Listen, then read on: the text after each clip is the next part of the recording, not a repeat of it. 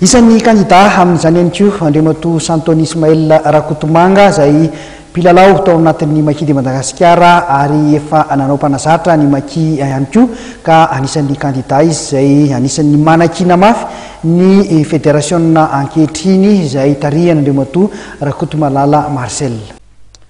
Isan'ny kandidà nilatsaka hofidiana izay ho filohan'ny Malagasy Rugby Santony Ismaël Rakotomanga. Taorian'ny nametrahany ny taratasy firotsahany dia nitafa fohy tamin'ny mpanao gazety izy. Mahalala ny zava-niseho tao iny satria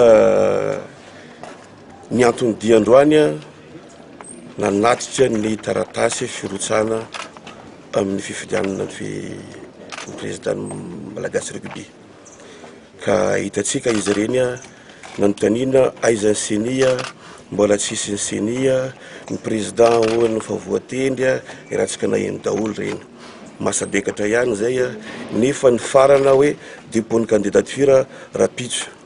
Aiza ny vola narotsaka, ny caution a, mbola ao anatiny compte ny Malagasy rugby ihany a, ny négociant tsy fantako na ny tsy fahaizako fa mety anareo mafatso bebe kokoa normalement raha misy cenit zany a ry zareo no mikarakara ny fifidianana tokony any amin'ny compte-ny cenit no androtsagnana azy ka i raha tsika mahita mahitsy faniragna angala sary de uma io zany taratasy a récépissé nomeny zareo avy avy tao Inona izany amin'izao no tena hoe betsaka ilay fingapingana hozy ianao, betsaka ilay fitapitaka?